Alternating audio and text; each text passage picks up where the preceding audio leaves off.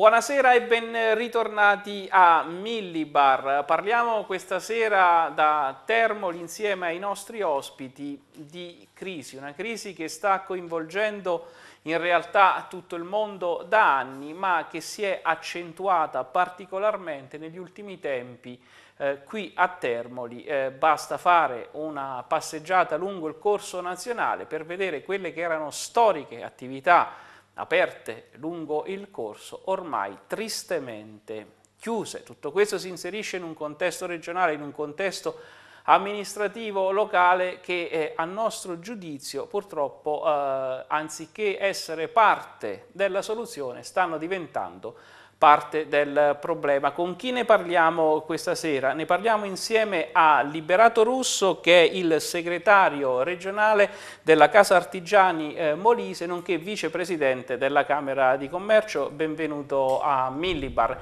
Ne parliamo insieme ad Antonio Mautone che è uno storico rappresentante dei eh, commercianti di Termoli insieme a me Antonio D'Ambrosio che ha, eh, oltre al ruolo di opinionista, questa sera anche il ruolo di uno che ha competenze specifiche in questo settore. Parleremo quindi di crisi nel mondo dell'artigianato, del commercio e anche eh, dell'industria. Il titolo della trasmissione è C'era una volta Termoli, perché una volta Termoli c'era ed era come dire, il motore dello sviluppo molisano, un punto di attrazione per moltissime persone che a Termoli eh, venivano e a cui facevano eh, riferimento per numerosissime attività. Le cose non stanno purtroppo più così. Come di consueto però guardiamo la scheda introduttiva eh, di Millibar prima di iniziare la nostra conversazione con gli ospiti.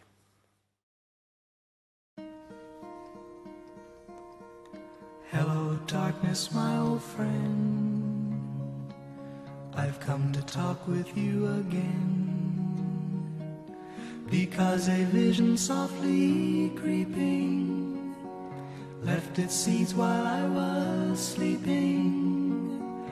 And the vision that was planted in my brain still remains within the sound of silence C'era una volta lungo il corso nazionale a Termoli e non c'è più un negozio con la scritta Lucrezia. In quel posto hanno trovato un vestitino, un cappotto, un paio di pantaloni corti, un cappellino, una sciarpa e una maglietta, centinaia di bambini. Sono soprattutto i bambini nati nel decennio dei 60 e in tutti gli anni 70. In quel negozio, preso ad emblema della Termoli che c'era e che non c'è più, si muovevano con la grazia e l'eleganza di un tempo un'anziana signora insieme alla figlia, diventata poi anche lei anziana in quel negozio. Il commercio, come l'artigianato, prima vivevano e si trasmettevano di padre in figlio, alimentavano e si alimentavano di un circuito virtuoso che metteva in circolo beni, saperi, risorse che hanno consentito a migliaia di uomini e donne di vivere con dignità e benessere. Il corso nazionale di Termoli un tempo era anche il luogo dove convergevano per fare acquisti le famiglie provenienti dai paesi vicini alla cittadina adriatica. A Termoli un tempo non solo c'erano i supermercati che nei piccoli paesi non esistevano, ma luogo di vera e propria meraviglia per genitori e bambini, a Termoli esistevano i grandi magazzini, l'Upim e la Standa Oggi, al posto dove sorgeva un giorno la standa, c'è un locale vuoto, chiuso e spento. Il dramma dei negozi che chiudono, delle attività che si fermano, delle risorse che svaniscono, si unisce spesso anche ad una rappresentazione visiva che porta al culmine della tristezza, oltre che alla disperazione, gli uomini e le donne, le famiglie e i lavoratori, stritolati da una crisi globale che ha travolto ogni angolo del pianeta.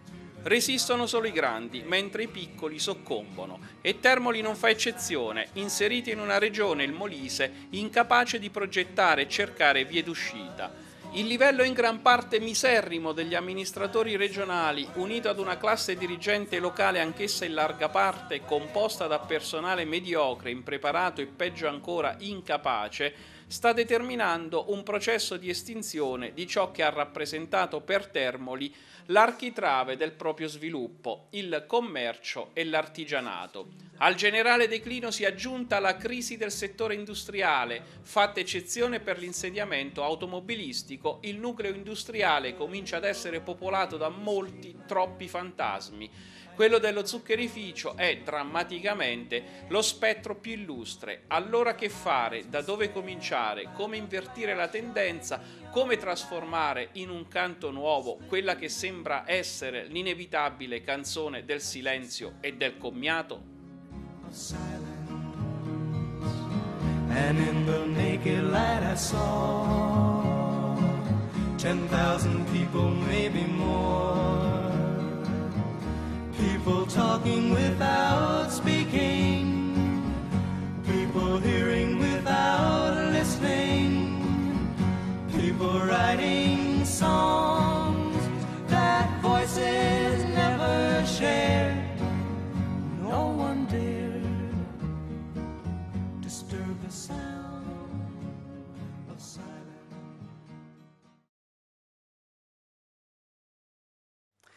Bene, la scheda che abbiamo appena visto mette tristezza un po' per le parole, eh, un po' anche per la meravigliosa canzone di Simon e Garfunkel, ma soprattutto mette tristezza per le immagini che propone, che ha proposto e che tutti quanti eh, avete visto eh, da casa. Eh, il pezzo, la copertina si apre con il nome di un negozio, lo facciamo perché oramai non esiste, non esiste più, Lucrezia, dove si sono vestiti tanti bambini, tra quei bambini negli anni 60 e 70 c'è stato anche il sottoscritto, quindi ricordo bene cosa fosse Termoli e che cosa purtroppo non è più. Antonio D'Ambrosio, cominciamo con... Eh, smantellare eh, una leggenda metropolitana che circola nel Molise, quello dell'aumento del, del PIL. Ti chiedo un intervento ovviamente sul tema generale della scheda, quindi la crisi di Termoli, l'artigianato, l'industria, il commercio, ma soprattutto una tua interpretazione di questa leggenda metropolitana del PIL che cresce, come racconta il Presidente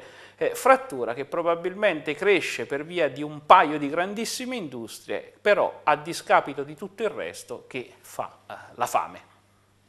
Sì, eh, rivedere Termoli in queste condizioni, eh, fotografarla, filmarla, ascoltare le parole della, tuo, della tua introduzione, la musica, eh, mi ha preso un po' lo stomaco di tristezza, per, per, la tristezza. Mai avrei immaginato nel mio percorso insomma, di vita eh, di vedere questo abbassamento di livello eh, socio-economico che sta attraversando Termoli e credo che non ci se ne rendi, renda conto.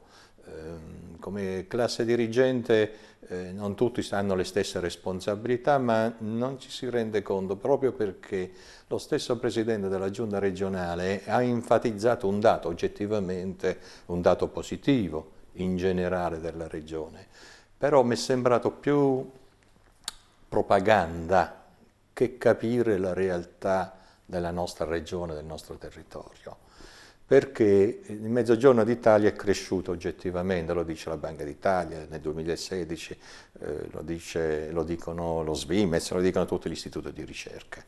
Eh, oggettivamente ed è cresciuto inaspettatamente del 2,9% rispetto a una media nazionale che si è attestata allo 0,8-0,9%.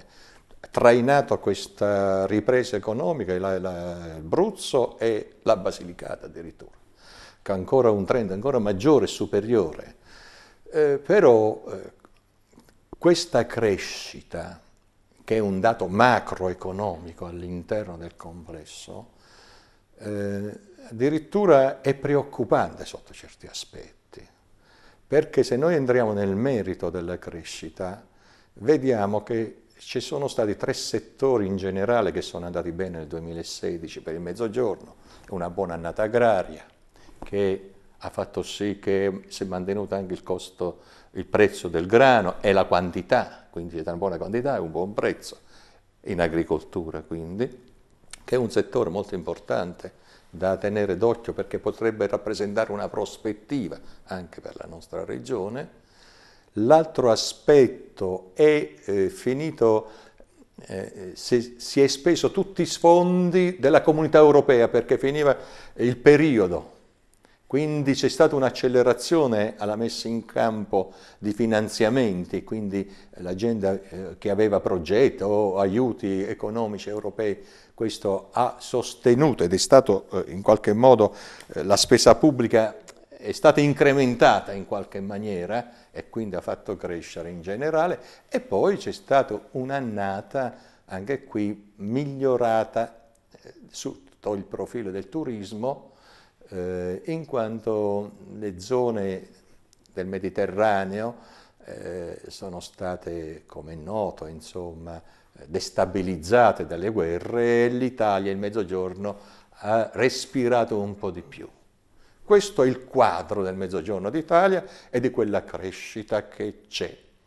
Naturalmente, che c'è stata. Naturalmente il Molise, la crescita è dovuta a due fattori, a due aziende l'esportazione e il settore agroalimentare. L'esportazione che rappresenta dalla Fiat, quindi un aumento della richiesta di macchine di nuova produzione, e dalla Molisana, un dato straordinario sotto certi profili, speriamo ripetibili, eh, ce l'auguriamo perché comunque regge qualche settore nella grande industria, eh, che a fronte di una media nazionale della crescita dell'esportazione che va dal 10-12%, il Molise ha avuto il 45% di esportazioni.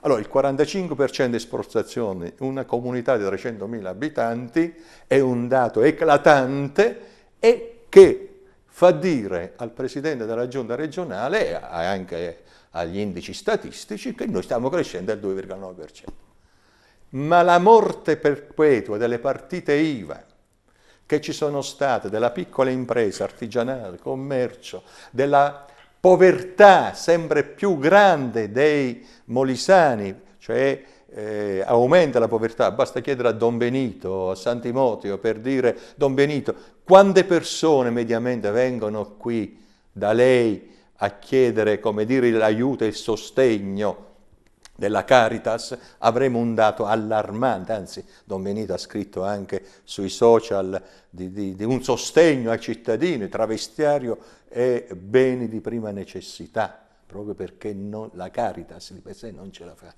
Quindi, come si vede, si raggiunge un vertice con due aziende e si aumenta eh, il PIL, quindi teoricamente la ricchezza, ma come si capisce non ricadono tutte nel Molise, ma vanno, o comunque riguardano due aziende, tutto il resto è una, un deserto.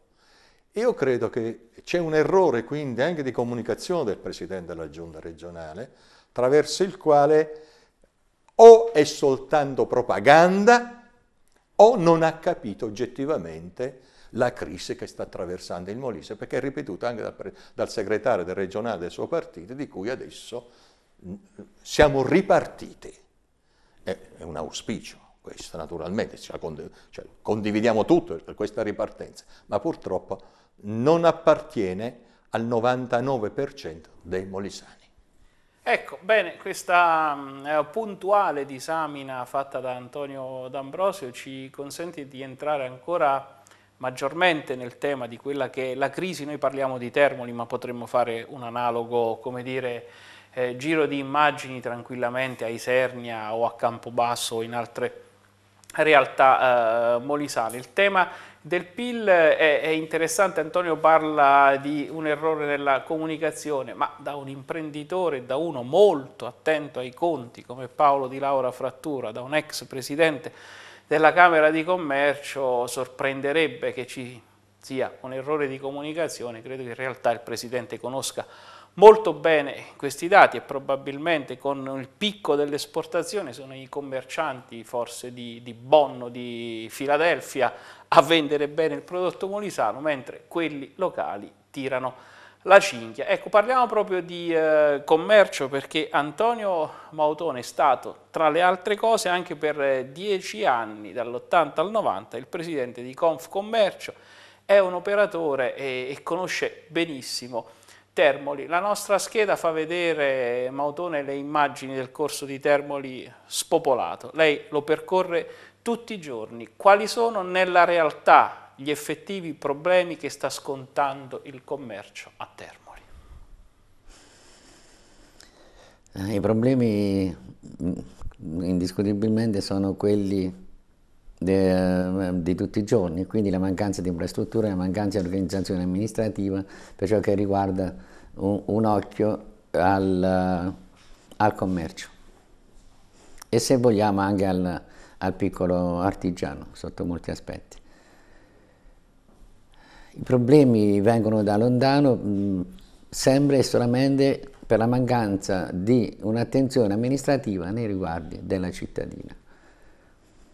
Ecco, questo, vorrei... questo, è il canto del cigno in pratica di Corso Nazionale, è finita, nel senso che non c'è stata un'attenzione intelligente, volutamente o no, non lo so, ma a questo punto devo dire che c'è una forzatura perché si parla già da un documento che io ho casualmente trovato del 1990 dove l'assessore allora Enzo Ferrazzano diceva e parlava di parcheggi.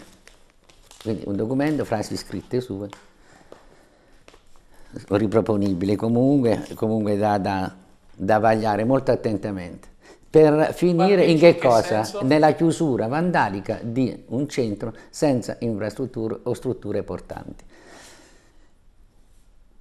Il Termoli è abbandonato a se stessa, si pensa solamente a grandi opere, partite da 7, 8, 9, 10, 11, 12 milioni, 13, 14, quindi siamo arrivati a 22 milioni di euro per il famigerato tunnel che non porterà a nulla in, fatta in questa maniera, secondo me. Già fece a suo tempo una, un manifesto funebre a favore dell'allora sindaco Vincenzo Greco, perché era una chiusura vandalica e ottenni certi risultati. Gli, la stessa chiusura vandalica peggiore è stata fatta dall'amministrazione Sbrocca, tramite l'assessore Ferrazzano, dopo Di Brino, essendo assessore anche del, dell'amministrazione di Brino. È lo stesso Ferrazzano del 1990. Lo stesso Ferrazzano e bugie, dal, dal, dal 90 a oggi c'è scritta la data, è quella, le stesse idee, le stesse eh, proposte.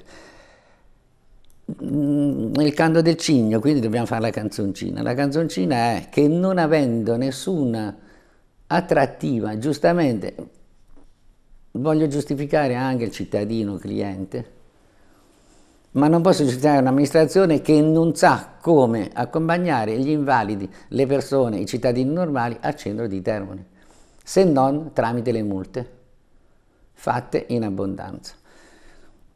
Questo è il dato di fatto, quindi eh, dobbiamo Ecco, lei ritiene che la chiusura de del corso nazionale, quindi la eliminazione della possibilità eh, di parcheggiare sia stato un danno?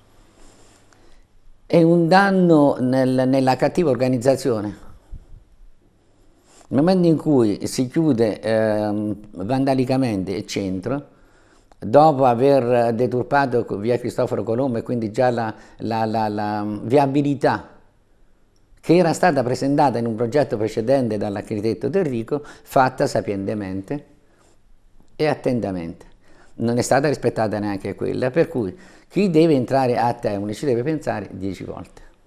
Preferisce non pensarci e andare al centro commerciale dove trova il suo posticino, mette la macchina, giustamente, d'estate perché c'è il fresco, d'inverno perché c'è il caldo e c'è il parcheggio famoso.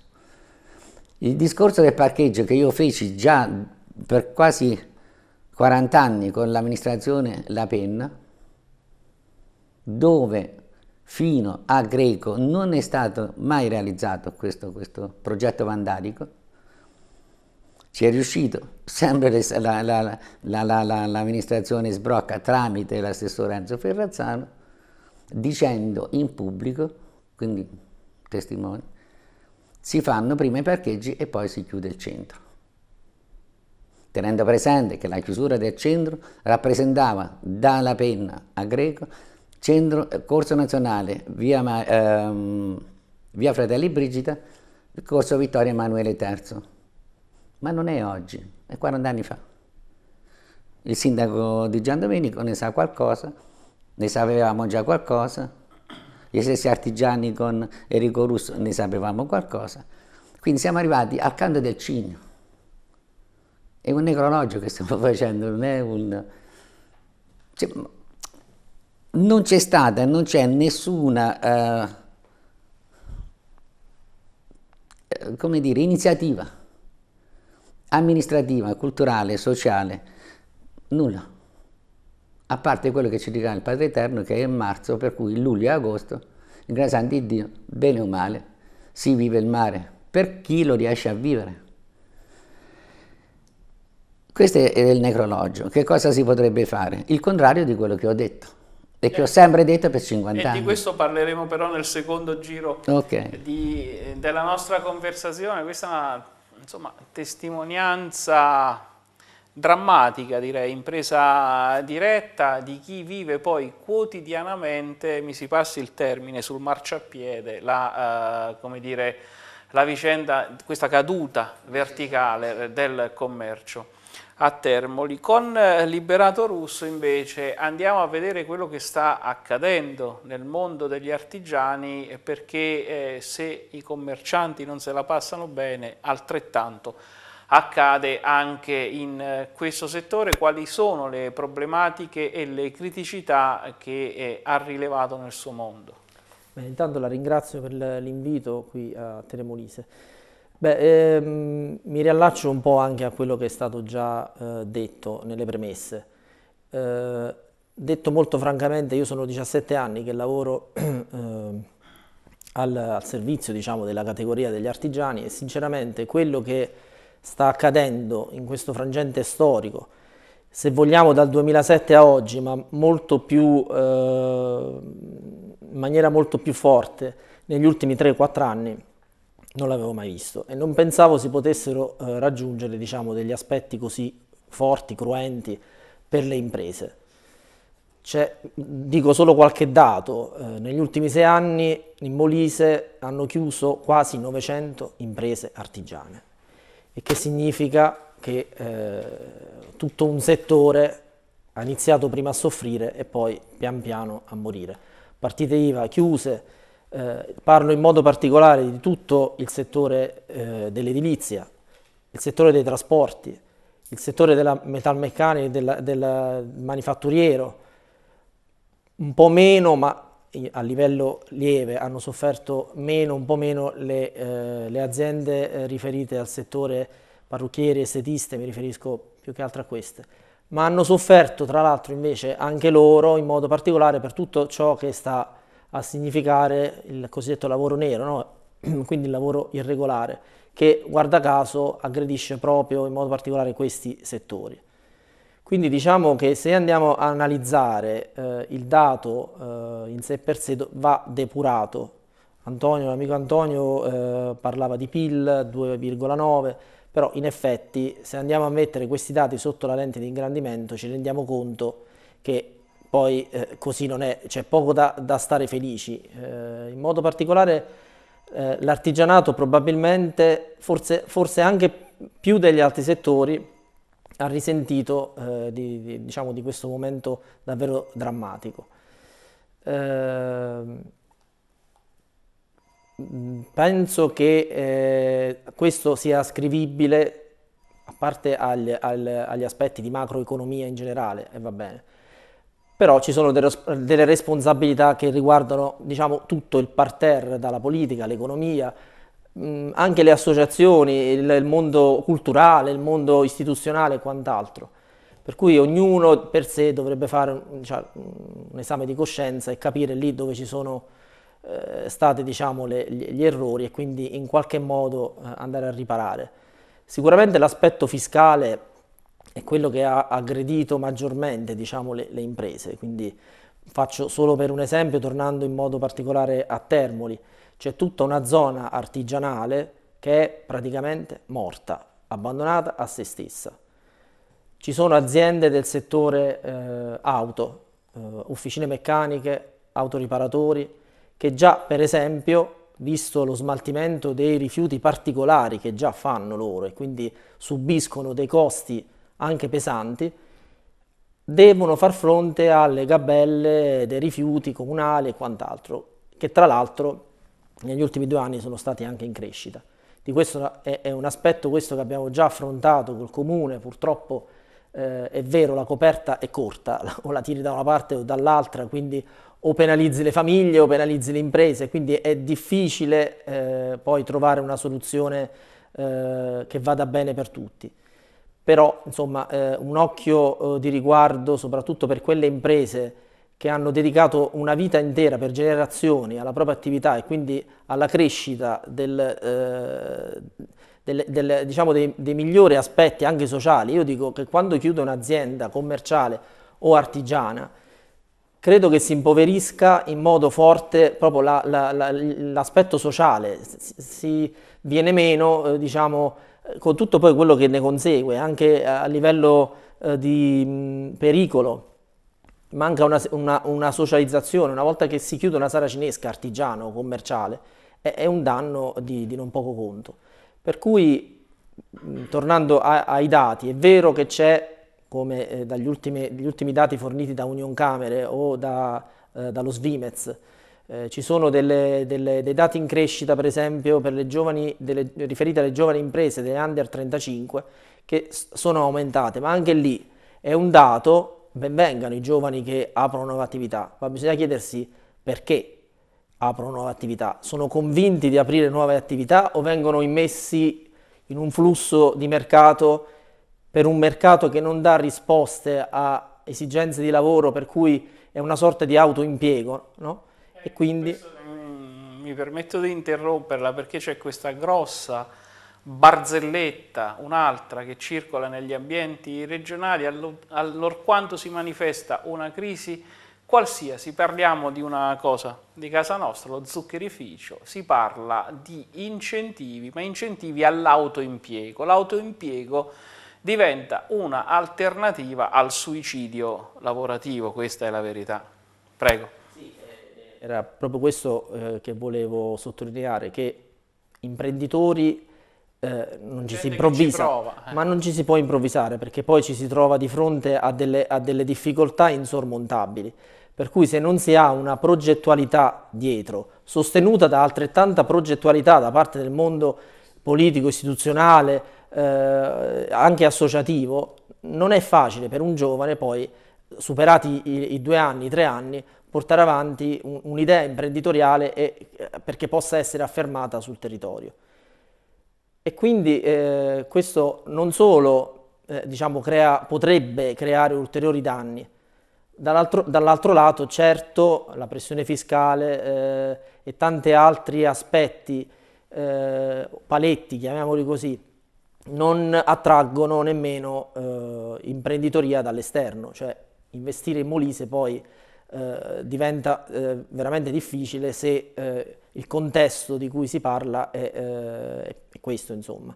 Eh, ha citato la, anche la zona industriale, se non fosse per la Fiat o per quelle due o tre aziende più grandi, anche lì è una moria di imprese. Tra l'altro molte aziende artigiane per forza di cose si sono dovute impiantare lì nella zona industriale, tra l'altro sostenendo dei costi che sono dell'industria e non possono certo essere dell'artigianato. Per cui anche noi come associazione di categoria ci troviamo in forte difficoltà, abbiamo il polso della situazione perché per fortuna, tra virgolette, al nostro interno abbiamo i cosiddetti confidi che aiutano, comunque accompagnano l'impresa nel rapporto con, con gli istituti di credito e anche in questo caso il rapporto impresa-banca eh, è diventato difficile. Anche qui dati eh, che eh, si riferiscono a crescita dei finanziamenti ricevuti dalle banche, ma se andiamo a vedere bene il dato, sono più le famiglie che hanno ricevuto benefici dal rapporto con la banca piuttosto che le imprese, forse qualcosa in meno hanno ricevuto negli ultimi 36 mesi. Credito al consumo. Credito al consumo sicuramente, ma non all'imprenditorialità, insomma. Bene, mm, chiudiamo qui questo primo giro di conversazioni con i nostri ospiti, con eh, Liberato Russo che è il segretario regionale di Casa Artigiani Molise, con Antonio Mautone che è commerciante ma è stato eh, per dieci anni presidente di Confcommercio e insieme al nostro eh, compagno eh, di viaggi Antonio D'Ambrosio. Stiamo parlando della crisi che attanaglia Termoli in, nel contesto più generale di crisi ma accentuata da fattori tipicamente eh, locali. Abbiamo fatto questa ricognizione nel nostro primo giro di conversazione, eh, torniamo in studio dopo una pausa pubblicitaria e cerchiamo di capire quali sono le altre cause e eventualmente i rimedi.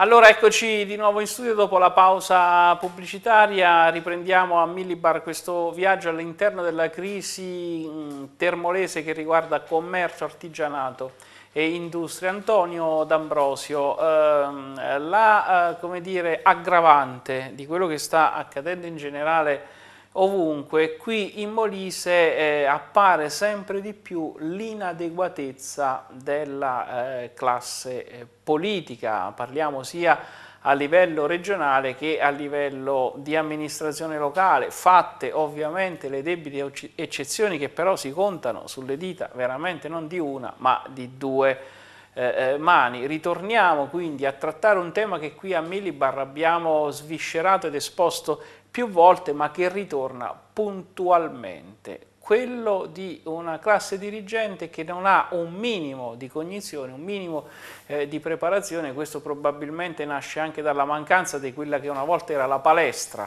dei eh, partiti, nessuno avrebbe fatto con la democrazia cristiana o col partito comunista il consigliere regionale senza aver fatto almeno dieci anni da consigliere eh, comunale. Però questo è, è come, eh, come si può eh, guardare con fiducia al futuro di fronte a una situazione del genere? Um, Termoli, questi anni della sua autonomia, la regione Molise e della quella classe dirigente che ci ha preceduto, la democrazia cristiana in particolare, ma anche il contributo degli altri partiti, quelli della sinistra, che l'opposizione eh, propositiva nella battaglia politica la struttura portante economica della nostra regione è stata oggetto per un ventennio di dibattito anche feroce delle aree territoriali e del loro sviluppo. E quindi la rappresentazione schematica che io faccio in questo momento, ma è costata come dire battaglie politiche, scontri, incontri, eccetera, partiva dalle risorse, l'acqua dalle opportunità dei territori, il mare per esempio, o le montagne, e da indici o sostegno a ipotesi economiche fatte da quella classe dirigente. Non è stato uno spontaneismo che si è costruito da sé e che ha retto nel tempo, è stato pensato. Campobasso il centro di un capoluogo di regione dove la pubblica amministrazione e il doppio reddito era centrale per lo sviluppo di quella comunità. E infatti è stata di attrazione a tutti i comuni limitrofi del Molise centrale dove adesso noi ridiamo un po' sopra a mo' di battuta anche per sdrammatizzare, quelli di Riccia stanno tutti a Campobasso perché Giacomino Sedate aveva dato il posto l'ospedale, eh, l'assessorato all'agricoltura, assessorati vari, eh, ministeri, subministeri. La comunità quindi si è riorganizzata in quel territorio attraverso la pubblica amministrazione e spesso a doppio reddito. E quindi c'era un benessere, una ricchezza che ha prodotto ulteriore ricchezza, stabilizzazione, prospettive di famiglie. Isernia la sua battaglia per la provincia che ha costituito un altro passaggio, una zona interna, con l'Alto Molise attraverso eh, il recupero delle sue bellezze storiche e lo sviluppo anche lì della pubblica amministrazione, perché la provincia ha portato anch'essa una serie di altre strutture dietro, meno di Campobasso, però ha portato il decentramento dello Stato anche in quella provincia. E quella era ed è stato la crescita oggettiva del PIL e il mantenimento dello sviluppo di quelle due aree. La battaglia che hanno fatto su Termoli, chi ci ha preceduto, chi ha preceduto in politica, non era più pensabile una terza provincia, anche se si è provato a fare una terza provincia sul Basso Molise, Termoli e Larino, Larino Termo, si discuteva tra, se deve stare prima il nome di Termoli, ma non era proponibile. Eh, quando ricordiamo Girolamo La Penna o Daimmo, eh, che in questo territorio hanno avuto un ruolo importantissimo, e chi? E Daimmo, sì, certo. hanno avuto un ruolo importantissimo. L'ipotesi della battaglia politica, torno a ripetere, che non apparteneva solo alla democrazia cristiana, è dello sviluppo industriale del Basso Molise e il turismo. Erano i due punti fondamentali. La Fiat si trova qui per una serie di circostanze, perché anche per la, il sindacato che eh, insomma, quando firmò il contratto metalmeccanico a Roma, a, a, a Torino con la Fiat, c'era l'impegno dell'investimento nel sud. Però attrarre queste opportunità, attorno a queste ipotesi di sviluppo nascono le partite IVA nella nostra nel nostro territorio e Termoli diventa il centro di attrazione della imprenditoria della nostra regione, piccola, media, fatta dalla famiglia, dal piccolo artigiano, dal commerciante, dalla stabilizzazione di chi da oltre cent'anni sta lì in, quella, in quell'attività o di tante altre persone che si consolida questa. E c'è, come dire, un aspetto interessante del dinamismo di Termoli che trascinava dietro di sé lo sviluppo economico della regione. Questo è il punto centrale dell'ipotesi di lavoro. La caduta della crisi nazionale, ma parimenti alla caduta della sua classe dirigente, politica, amministrativa, non hanno saputo più riflettere del percorso perché la crisi li ha trovati impreparati. Non consapevoli del ruolo che loro stavano facendo e dove si trovavano, e ma non è stato quindi consapevole ma c'è stata una dose di arroganza. Voglio solo ricordare è una mia esperienza personale, ma per dire altro, di altri, noi ci siamo avvalsi, per esempio, come classe politica, dirigente, amministratore, di economisti nazionali, di sociologi nazionali, di esperienze nazionali che ci hanno accompagnato nel nostro percorso, oltre alla nostra formazione attraverso, come dire, l'ABC economica e politica, De Masi, il professor De Masi, uno dei massimi sociologi nel mondo, ha fatto uno studio attraverso la presidenza del Consiglio sulle condizioni della regione e le prospettive dello sviluppo e quali erano le strade, insieme degli imprenditori del settore dell'edilizia. Economisti ci hanno dato degli indirizzi. Oggi invece il politico si è trasformato o in un sordo, come dire, amministratore, o in un arrogante amministratore che pensa di saper risolvere i problemi che purtroppo non li sanno risolvere. E stiamo nel dramma più completo, perché il crollo di quelle partite IVE, di quella vitalità di questo territorio, con la crisi è stata spazzata. E allora riprendendo il ragionamento del Presidente della Giunta regionale, quando dice una cosa vera, il 2,% della crescita del PIL, bisogna aggiungere per onestà che quella crescita non è dovuta agli atti amministrativi o legislativi della regione.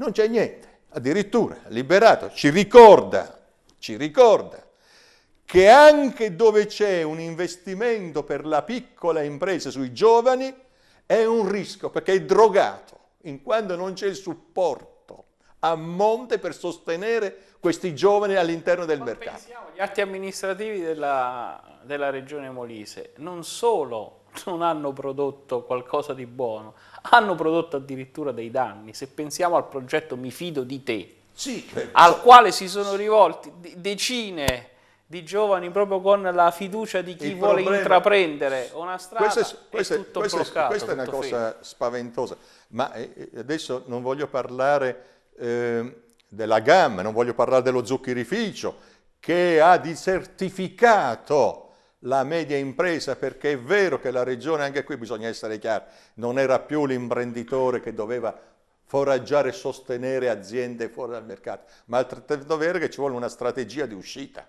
a medio termine. Invece noi abbiamo perso due patrimoni, il logo Arena regalato praticamente, logo Arena regalato che aveva un valore di un'opportunità ancora e lì ancora riparte niente, si gestisce cassa integrazione che finisce anche, quindi il Molise sta 1 a 3 dentro uno, ogni cittadino, uno su tre sta nella povertà, non sulla soglia della povertà, torno a ripetere, politiche di inclusione sociali non ce ne sono. E il dramma è talmente manifesto che quando si annuncia che la ripresa c'è, stiamo andando avanti, abbiamo lavorato bene, credo che faccia arrabbiare di più i cittadini.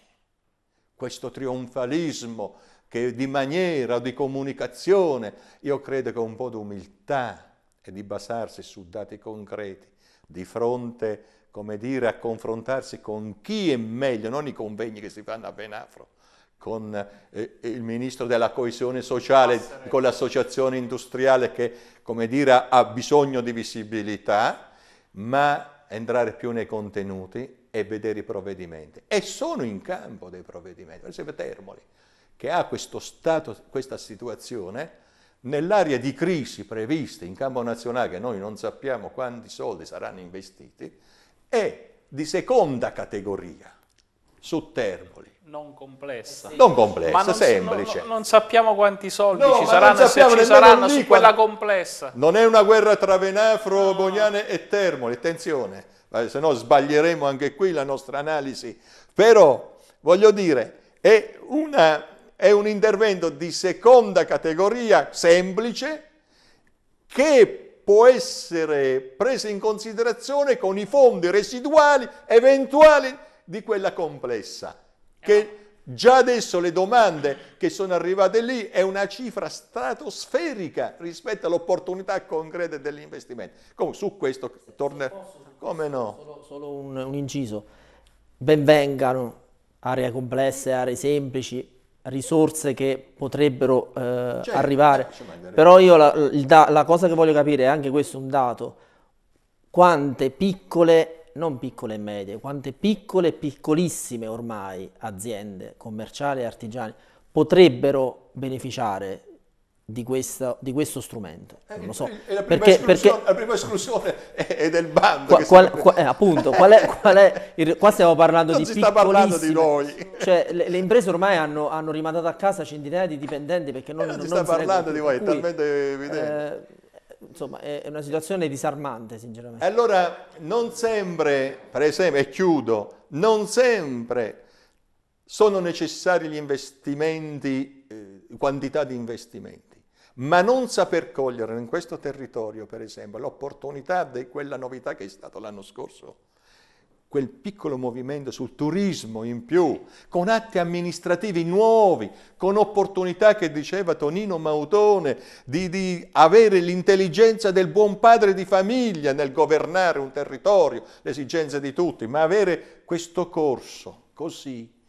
che oltre a far perdere l'identità di una comunità, ha creato danni, massacrato, diceva massacrato. E ne creerà di più. Eh sì, e ne creerà. Quindi, allora, perché eh, parliamoci anche qui con molta chiarezza, non tutti gli strumenti stanno nel sindaco e nell'amministrazione comunale, se no sarebbe anche qui, faremmo anche noi propaganda inutile.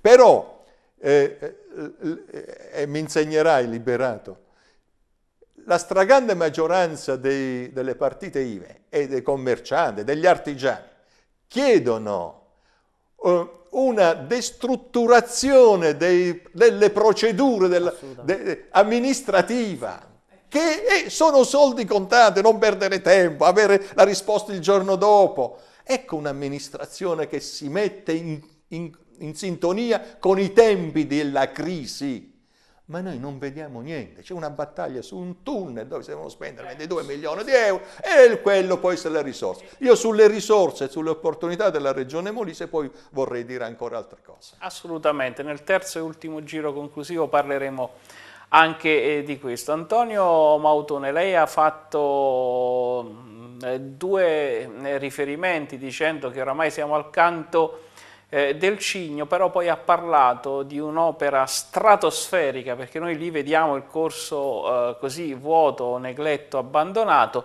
però in fondo a quel corso passerà l'opera più grande che Termoli abbia mai concepito e progettato, questo famoso tunnel che sta scatenando molte eh, divisioni e che così eh, contestualizzato nel nostro discorso di questa sera mi fa pensare che si guardi alle grandi cose e poi si perda, come dire, di, eh, di mira quello che eh, accade nella vita di tutti i giorni delle persone senza intervenire. Le chiedo, eh, lei ha ancora un minimo eh, di speranza e su questa grande vicenda eh, del tunnel forse non sarebbe meglio mettere soldi laddove servono? È stato detto eh, in pubblico dal sindaco Sbrocca che non è il sindaco delle buche. Io sono, posso essere d'accordo con le sue scelte, non è il sindaco delle buche. Però di buche a Termini ce ne sono, ce ne sono tantissime. E, e quindi deri, derivano da, da queste piccole buche che non appartengono al sindaco gli eventuali anche problemi del cittadino che però forse fra 4, 5 anni, 6 anni, grazie al regalo che si farà a un'azienda privata di tutto il centro, perché il centro verrà gestito da una sola persona, non più dall'amministrazione comunale, ma di chi farà l'opera detta del tunnel.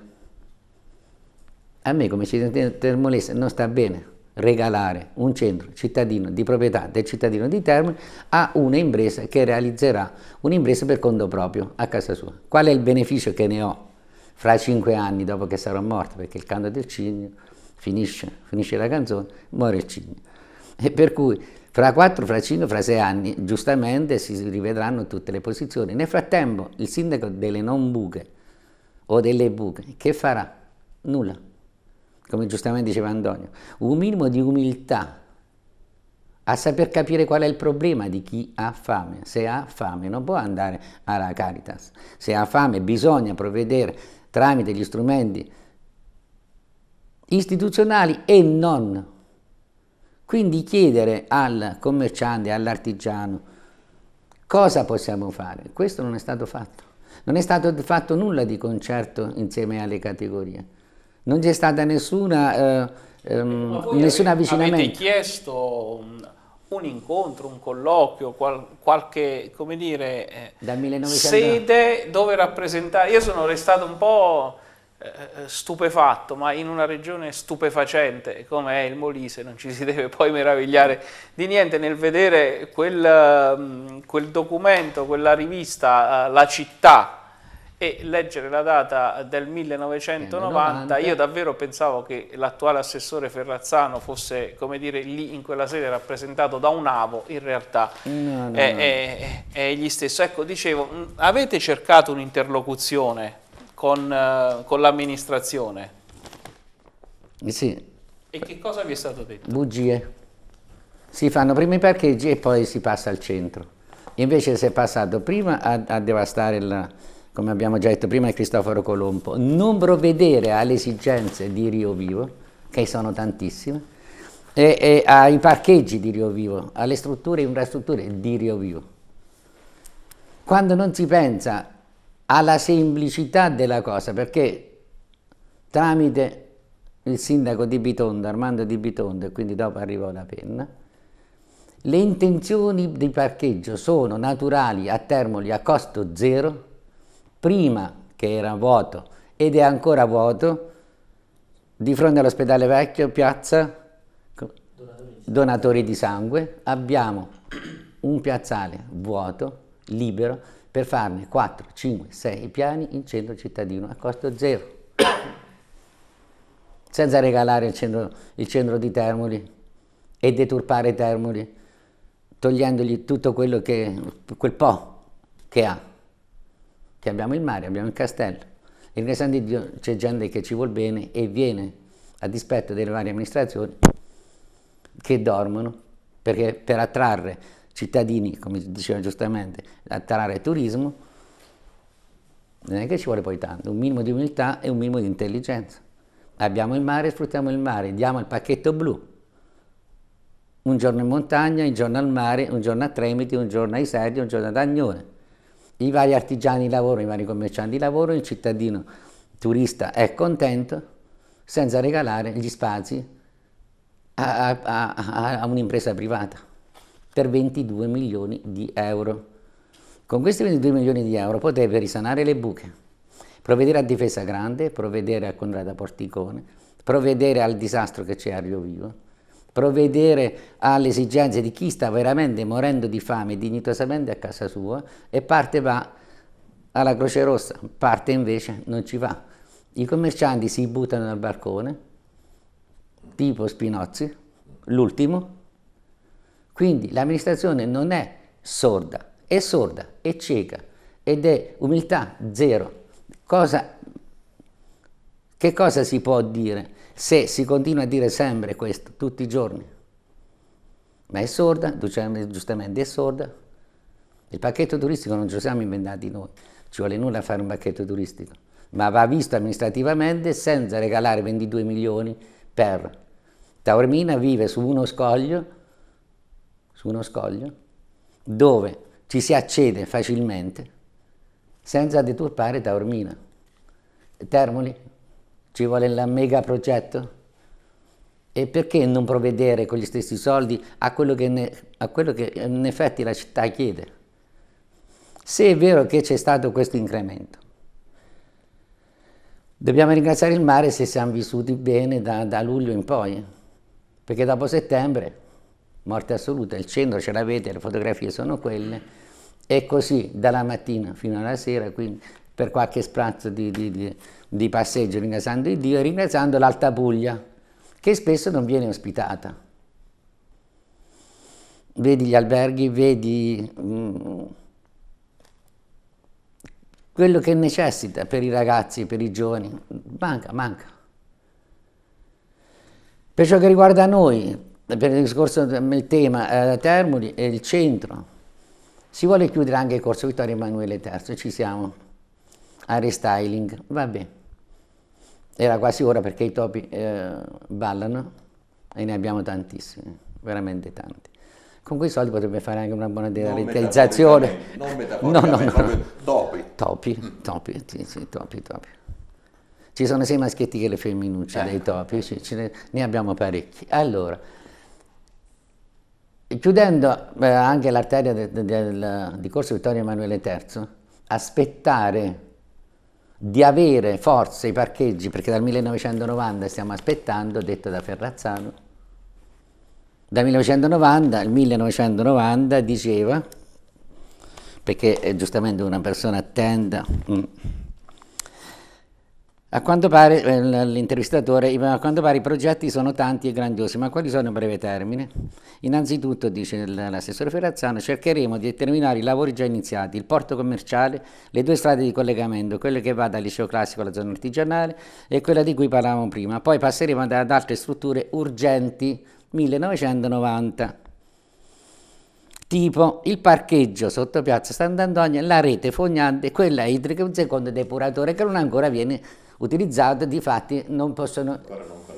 Il commercio che paga amministrativamente una certa cifra, fiscalmente un'altra cifra, non può avere il bagno perché non ce l'hanno, glielo danno. Cioè, l'acqua non c'è, quindi non può neanche chiedere. Oppure eh, un appartamento nuovo non può avere il bagno perché l'acqua, eh, cioè non gli fanno il contratto dell'acqua, non glielo fanno. Il sindaco, invece che pensare a 22 milioni di euro di un tunnel che sfascia mezzo mondo, su cui il 50% e forse di più della città di Termoli, tramite i comitati, tramite le, le, i banchetti fatti, tramite le, alcune eh, forze politiche contrarie nettamente e intelligentemente a questo progetto, procede, non lo so, sordo? Procede senza pensare invece a quello che si dovrebbe realmente fare, che diceva giustamente Antonio prima, fare sistema in un pacchetto turistico insieme ai commercianti, agli artigiani e pensare alla cattedrale nel deserto del nucleo industriale che è stato abbandonato completamente e non spendere, ma vedere come spendere intelligentemente all'interno della stessa cittadinanza, perché il sindaco dovrebbe essere, a parere mio, il padre di famiglia. Questa famiglia è stata devastata proprio dal padre, dalle amministrazioni che si sono succedute fino a finire a quello che abbiamo oggi. In maniera determinata, caparbia, devono fallire tutti, dopodiché vediamo chi verrà. Bene, con questa conclusione amara passiamo al... È chiaro che, che qui a, a Millibar, ma come abbiamo detto molte volte agli stessi interessati, hanno ospitalità, diritto di cittadinanza, l'amministrazione, il sindaco, gli assessori, la, la, la ditta che è candidata a realizzare eh, il tunnel, noi li inviteremo eh, e saremo ben lieti di ospitarli nella come dire, speranza che possano accettare una interlocuzione che in più di una circostanza è stata eh, difficile. Liberato Russo, anche lei ha la percezione di una generale inadeguatezza eh, della classe polica? Beh, eh, Antonio prima partiva da lontano, è partito da lontano, eh, determinate scelte che sono state fatte dalle, a livello istituzionale e politico, eh, quindi il nucleo industriale, il turismo che purtroppo è partito monco, non è partito, è partito male. Io penso che un discorso sulla eh, democrazia partecipata, col coinvolgimento maggiore dei cittadini, dei comitati rappresentati dai cittadini vada fatto per il futuro perché eh, ovviamente una città in primo luogo è vissuta dai cittadini, dalle imprese, eh, dalle associazioni, per cui eh, è auspicabile che ci sia un approfondimento in tal senso e anche di confronto con chi rappresenta sia cittadini che imprese. Eh, questo a vari livelli, stiamo parlando di Termoni ma eh, è rivolto ovviamente a, a, alle istituzioni regionali eh, è perché proprio dal confronto, dalla necessità del confronto tra chi rappresenta delle categorie o delle, dei cittadini stessi e le amministrazioni che viene fuori un, un buon prodotto necessario per assicurare un futuro dignitoso a tutti. Se manca questo viene a crollare eh, tutto il sistema, è ovvio. E per cui penso che anche il legislatore, anche chi fa le leggi avrebbe dovuto affinare l'orecchio e quindi avere un ascolto maggiore a chi vive più direttamente il territorio. Faccio un esempio, ma è solo un esempio. Noi sul lavoro irregolare, eh, mi creda, vengono quotidianamente decine in associazione da noi di imprenditrici in modo particolare, come dicevo prima, del settore estetiste e parrucchiere, non da meno il settore della meccanica. È una piaga di sempre, ma in questo momento è fortissima. Noi abbiamo operato negli ultimi due anni come associazione di categoria a fianco alla Guardia di Finanza, che ci ha dato in questo una grossa mano e si è impegnato, io ringrazio le forze dell'ordine, proprio perché si sono messe a disposizione della categoria. Però non le dico quante difficoltà anche le forze dell'ordine hanno in, eh, trovato nel lavoro che svolgono quotidianamente, perché? Perché anche le leggi sono piene di cavilli e sono fatte male, per cui legano le mani anche a chi ha, eh, è deputato al controllo e quindi potrebbe in qualche modo arginare dei fenomeni incresciosi che dilagano soprattutto in contesti eh, storici come questo. per un attimo l'avvocato del diavolo, non con questo giustificando il lavoro illegale, tengo a precisarlo.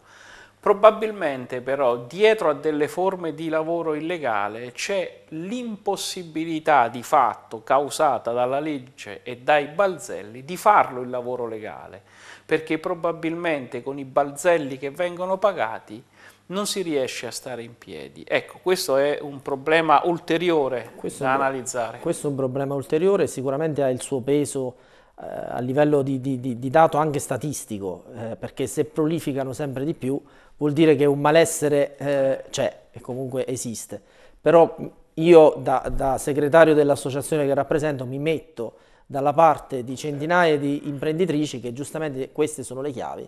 Se lo fanno gli altri, le altre e nessuno fa nulla, lo faremo anche noi. Cioè riconsegno le chiavi della mia azienda, io pago tasse, pago gli affitti e questo è un altro problema perché gli affitti per, per i commercianti, per gli artigiani, per le imprese sono veramente alti oggi, sostenere l'affitto mensile, insomma voglio dire, e quindi poi anche lì eh, tutto il discorso sulla sicurezza sul lavoro, le, le leggi, cioè voglio dire chi è regolare è sottoposto a tutta una serie di adempimenti che hanno un costo.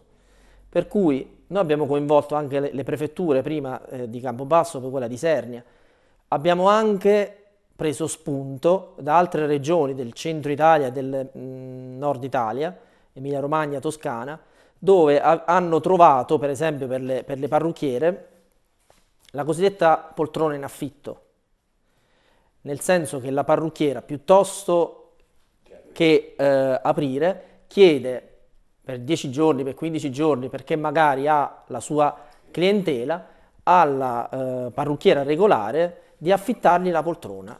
Paga un tot e quindi è un affitto regolare, si formalizza Abbiamo chiesto anche alla Regione di, di farsi garante di questo, aspettiamo delle risposte, speriamo che possa verificarsi anche in Molise, perché voglio dire, se è vero per altre regioni non capisco perché eh, per il nostro territorio questo non può eh, essere preso, cioè a volte bisogna sapere anche copiare, no? in, qualche, in, qualche, modo, per cui se, se... È una cosa intelligente ma è terribile, nel senso che è, è la rappresentazione di un disagio feroce.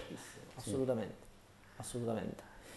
Di contro ci sta che probabilmente faccio il mia colpa da parte mia, per, per conto mio, per l'associazione e le altre associazioni e per la categoria che probabilmente in questo contesto difficile bisognerebbe stare più uniti, bisognerebbe trovare una sintesi e eh, andare meno sparpagliati perché poi è facile perdersi in certe derive, no? quindi eh, almeno per quanto riguarda l'artigianato spesso ci si, ci si perde, ci si perde. Quindi l'auspicio è quello. Eh, chiudo facendo solo un riferimento. L'altra sera leggevo una recensione di un, uh, un saggista uh, canadese, un certo Alain Denault, che è un professore di filosofia e professore di uh, scienze politiche. Ed era una bellissima recensione su un libro che sta uscendo in questi giorni, che si intitola La mediocrazia. E, e, e quindi infatti mi, mi, sono ripromesso di, di, acquistarlo perché deve essere... Le recensioni sono ottime. Sono ottime. Che spiega molto per, bene per, la situazione per, attuale. Per cui è, è la verità, senza accusare nessuno, ma è tutta la società che è scaduta in una mediocrazia o mediocrità, così come la vogliamo chiamare, che è il male peggiore, perché addirittura questa mediocrazia oggi ci governa a tutti i livelli, a livello eh, istituzionale, a livello politico, economico, nelle scuole, insomma un po' dappertutto.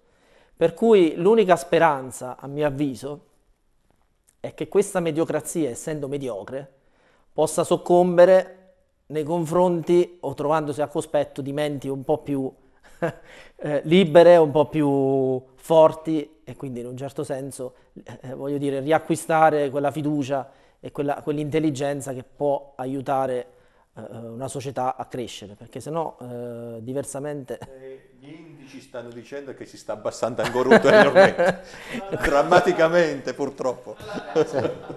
Spesso ultima idea questa, questa, notizia di questo volume sulla mediocrazia eh, merita una puntata o forse più puntate eh, eh, di Millibar perché un volume eh, del genere. Poi vedremo insomma, le implicazioni eh, pratiche o gli spunti di similitudine con la situazione molisana dove la mediocrità è più diffusa in natura dell'idrogeno e, e, e con questa amara considerazione chiudiamo il secondo giro di colloquio con i nostri ospiti, stiamo parlando della crisi commerciale artigiana industriale a Termoli, ma è chiaro che insomma anche l'intelligenza e la vivacità degli ospiti eh, questa sera ci porta, ci porta, lontano. Una breve pausa pubblicitaria, poi ritorniamo in, in studio.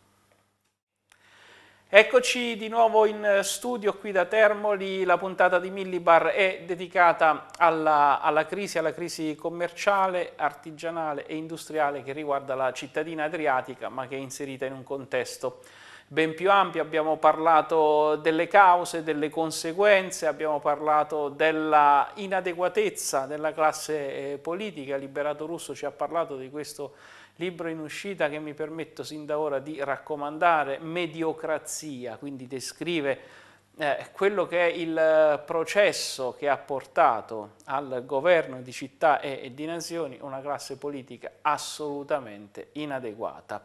Eh, ritorniamo però adesso al nostro discorso. Io proporrei ai nostri due ospiti, perché Antonio D'Ambrosio ospite non, non lo è in questa trasmissione, di parlare alla telecamera. Spesso i nostri politici fanno questo errore, considerano la telecamera una sorta di elettrodomestico, in realtà non è così perché dall'altra parte eh, ci sono persone, ci sono famiglie, ci sono uomini e donne, c'è ascolto. Allora chiederei a um, Antonio Mautone e poi successivamente al Liberato Russo, lì c'è una telecamera a disposizione in pochi minuti perché siamo davvero in chiusura e in conclusione. Cos'è che volete dire a chi vi deve o vi dovrebbe quantomeno ascoltare? Eh, se devono ascoltare, innanzitutto devono aprire le orecchie, è la, è la cosa principale. Eh, dovrebbero ascoltare la voce del, del, cittadino commerciante, del cittadino eh, artigiano, ascoltare quello che è il pensiero del, del cittadino che ha tramite il, il voto portato alcune persone ad amministrare. Amministrare significa amministrare per il cittadino la cosa pubblica. La res pubblica non l'ho inventata io, non è stata inventata oggi. Va fatta in maniera da rispettare la persona, da rispettare il cittadino.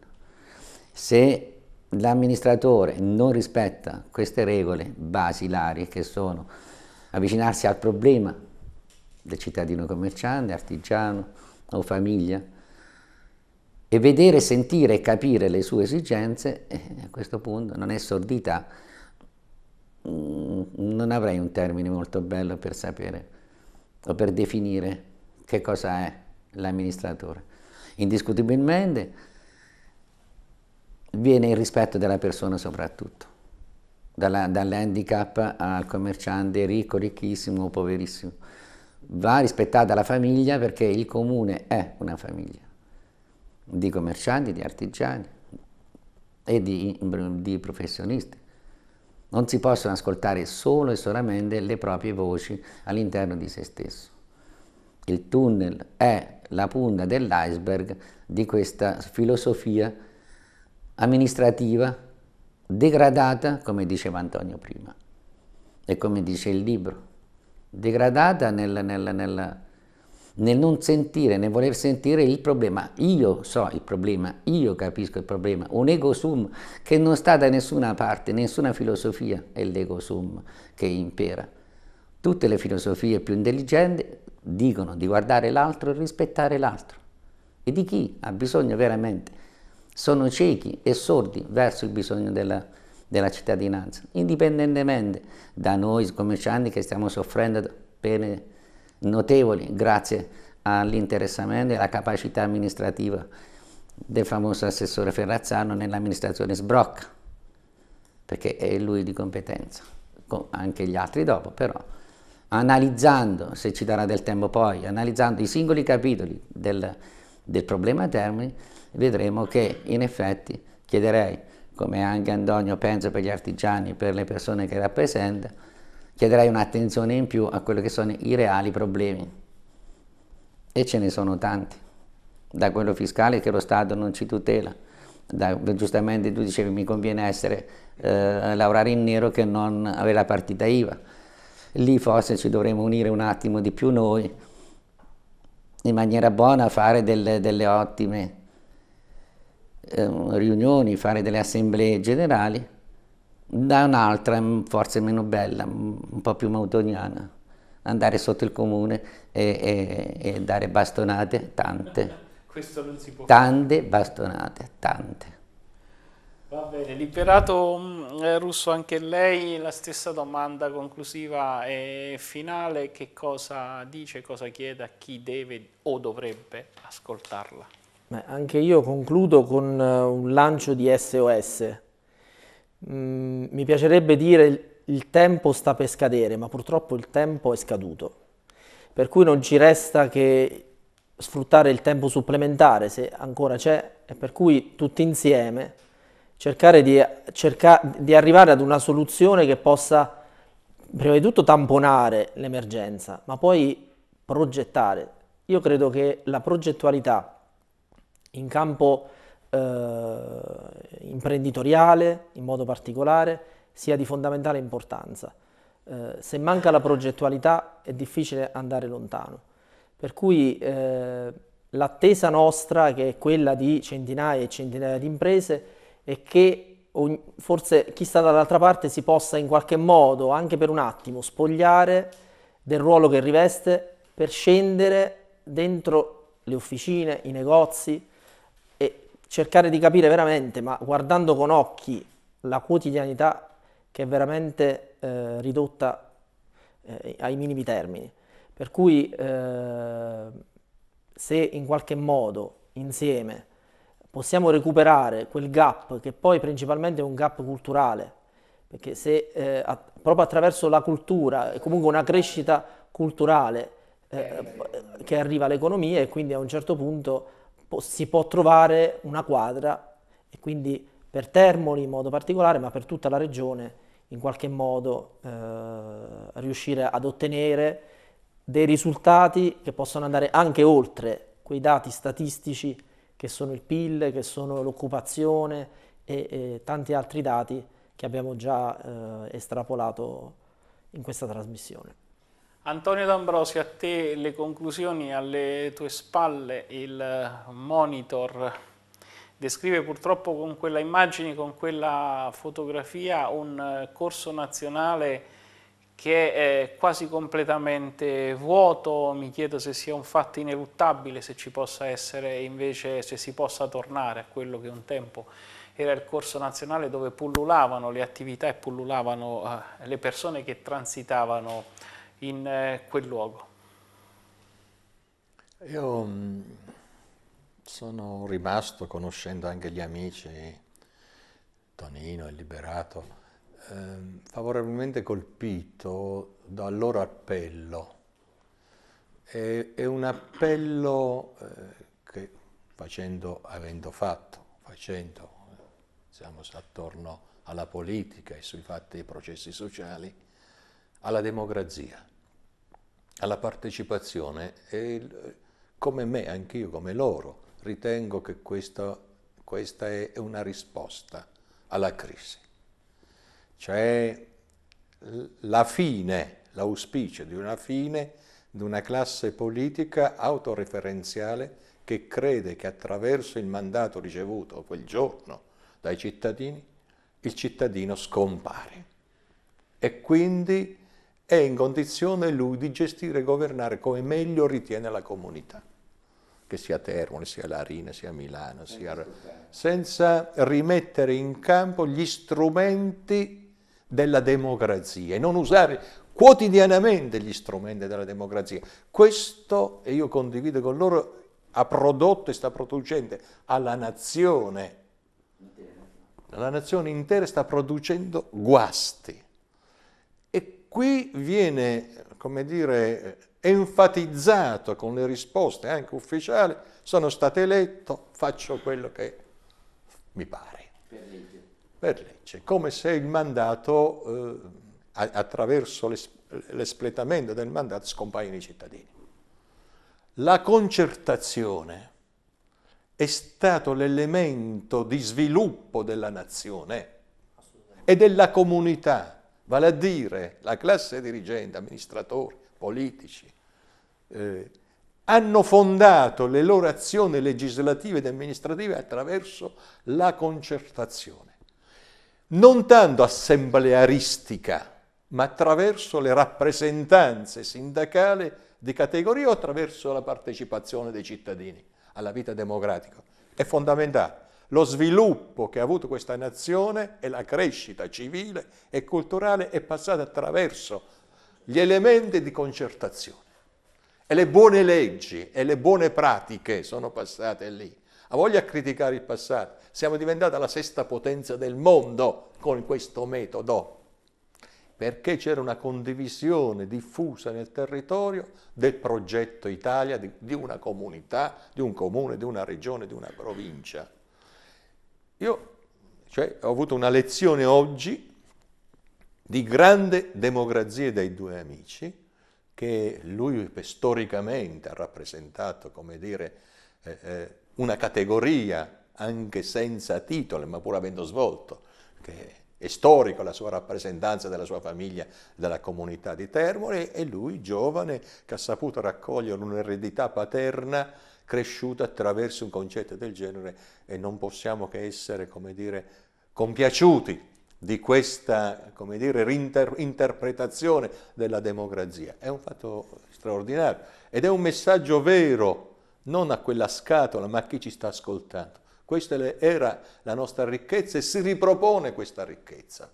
Questa è la democrazia, questo è lo sviluppo, perché ha una ricaduta sullo sviluppo. L'altro aspetto che eh, noi, per esempio, non riusciamo più a mettere mano è il governo delle risorse. Le risorse sono intelligenze, sono soldi, intelligenze, opportunità.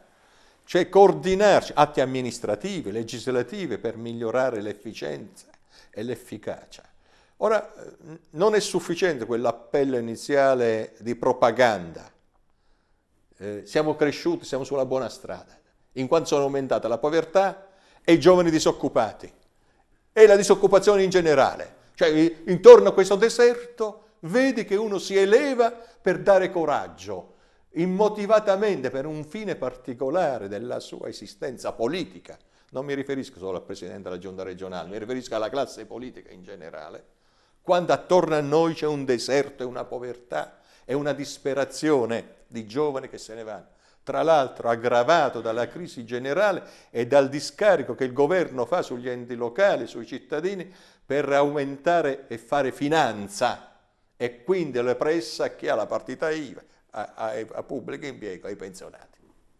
Questa è la massa di manovra dove si attinge risorse per far fronte alla crisi oggettiva, impoverendo la società, aumentando le cose. Noi abbiamo adesso però delle prospettive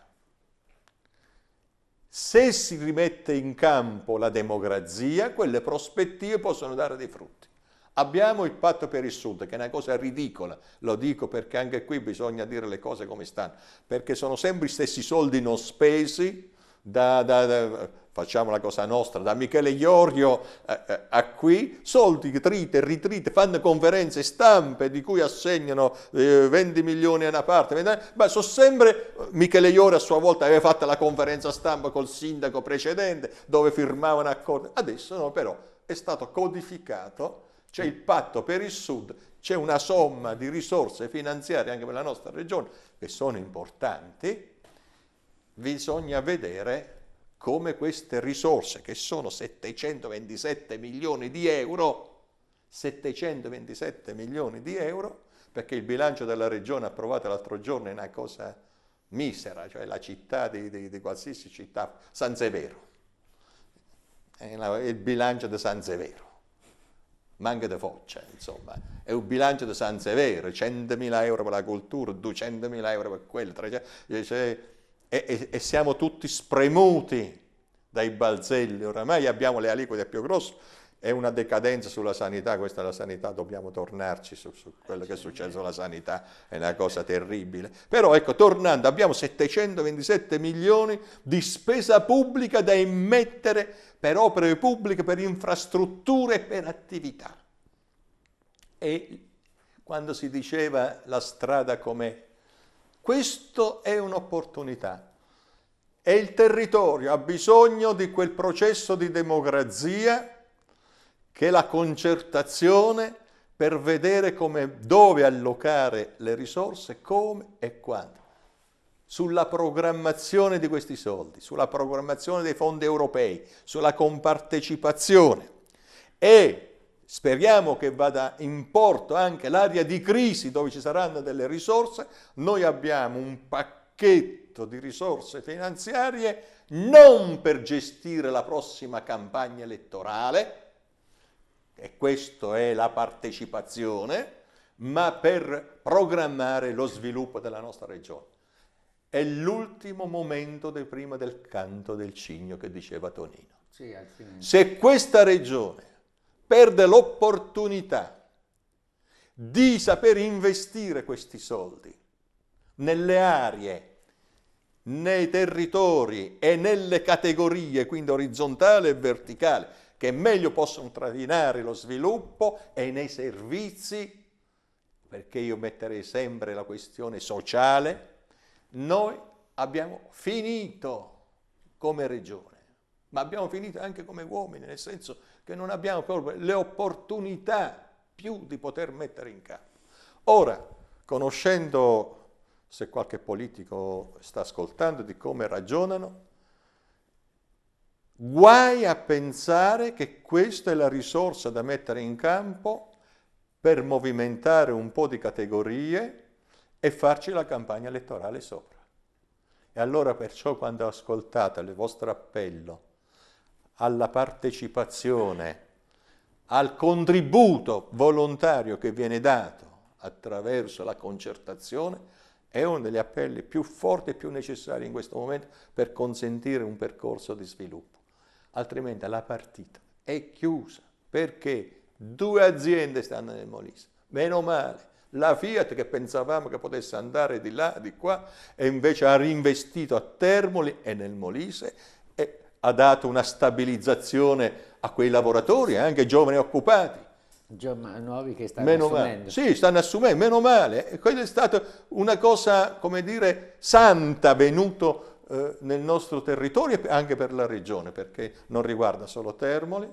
L'altra, questa ripresa di esportazione dell'agroalimentare, in particolare, scusa faccio pubblicità, la Molisana che sta trainando, eh, e, e, per fortuna, e per fortuna che questa azienda, come dire, è stata ripresa in questo modo dalla famiglia Ferro e sta portando avanti delle nuove opportunità di investimento di qualità e sta conquistando giorno per giorno i mercati, fa salire eh, le opportunità in due settori che si stanno stabilizzando, ma non è sufficiente perché contemporaneamente se non, quei soldi non li investiamo diversamente, quelli che ci devono arrivare, sta aumentando la povertà, una su tre sta nell'area della povertà, Purtroppo. un cittadino molisano su tre sta sulla povertà, sta aumentando la disoccupazione giovanile, stiamo perdendo le intelligenze che stanno andando fuori e quindi sarebbe un arido territorio dove Tonino sarà l'ultimo canto del cigno eh sì, di, questa, di questa non per età. Anche per, per l'età. Non per età, per intelligenza.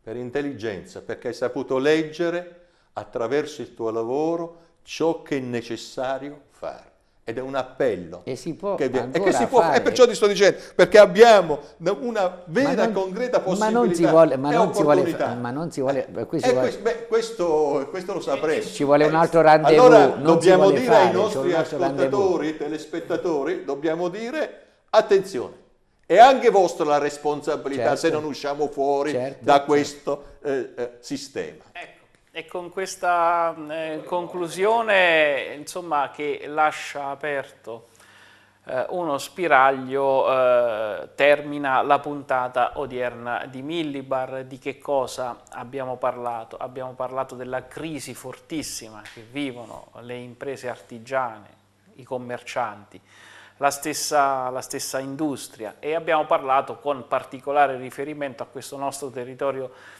di elezione eh, che, che, è Termoli. Lo abbiamo fatto insieme a Liberato Russo che è il segretario regionale della Casa Artigiani eh, Molise e vicepresidente della Camera di Commercio. Lo abbiamo fatto insieme ad Antonio eh, Mautone che alla lunga esperienza eh, di commerciante ne aggiunge un'altra, quella di essere stato per dieci anni il presidente di Confcommercio. Eh, ci lasciamo con questa eh, apertura, con questa speranza, perché come ha ricordato bene Antonio eh, D'Ambrosio, eh, l'appello fatto dai due ospiti è importante perché nonostante le critiche che sono state fatte a chi amministra sia a livello regionale che il livello locale, a questi ultimi eh, ribadisco ancora una volta la porta di casa nostra è aperta per eh, eventuali eh, repliche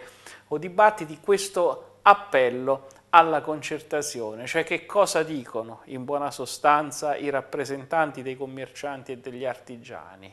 Noi ci, noi ci siamo, scendete le scale del palazzo, ritorniamo a dialogare. Allora quel corso che i nostri monitor ci fanno vedere eh, vuoto, eh, quasi abbandonato a se stesso, potrebbe ripopolarsi. La canzone che abbiamo usato eh, per la nostra copertina è la canzone di Simon e Garfunkel, famosissima, che parla del suono, del suolo del silenzio. In effetti passeggiando per Termoli questo silenzio purtroppo lo si avverte. Ci auguriamo di poterne usare un'altra, il mio canto libero di Battisti, che un domani ci potrà consentire di fare una puntata di Millibar dove si parlerà di ripresa. Noi ci fermiamo qui, torniamo mercoledì prossimo alle 21 in replica alle ore 16 il giovedì sempre su Telemolise, da Alessandro Nardella in eh, regia e da me buonanotte e buona fortuna.